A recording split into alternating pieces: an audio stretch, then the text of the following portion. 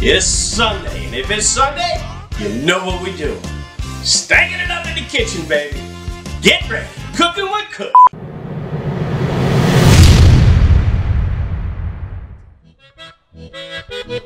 You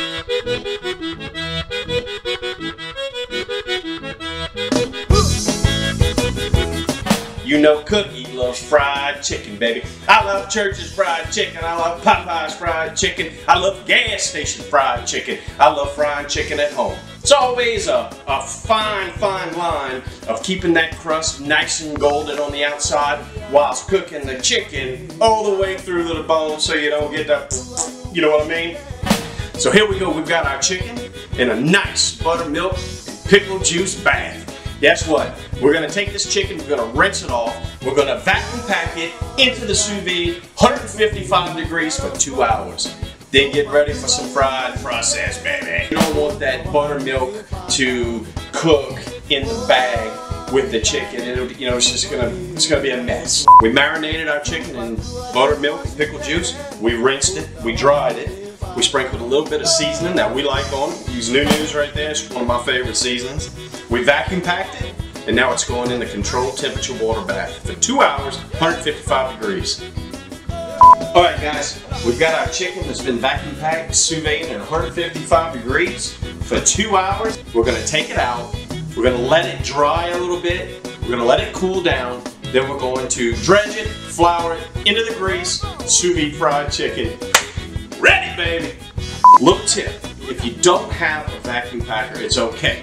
You don't absolutely have to have one. You can use Ziploc bags. You take your Ziploc bag, you put your meat, your seasoned meat in it, and you push it down into the water with the top above the water, of course. You don't want to get water inside of the Ziploc bag. But the water will surround that bag, push the air out, and then you can zip it closed. So, don't need a vacuum packer, use a Ziploc bag.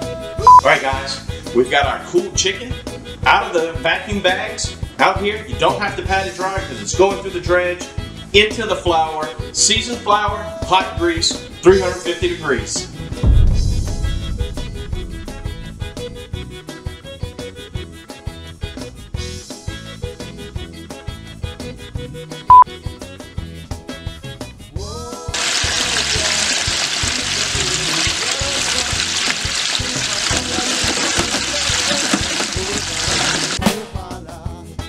Sous vide fried chicken. Listen, the marinade, the pickle juice, the buttermilk, the seasonings, it all came together. Look how beautiful this chicken is. I'm telling you, it's crunchy, touching every, oh, it's beautiful. This, we've got these beautiful greens. Go look at episode 19 and season one for those. Cheers to you.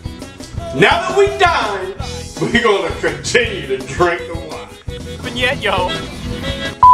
And then we'll shut that. That can be your, then you can go into, then we'll go, hey, welcome back everybody to season two of Cooking with Cookie, baby. We got a special episode tonight. Get excited, it's gonna be a good time. Tonight we got sous vide fried chicken. What is, while we prepare to dine, we always drinking that wine.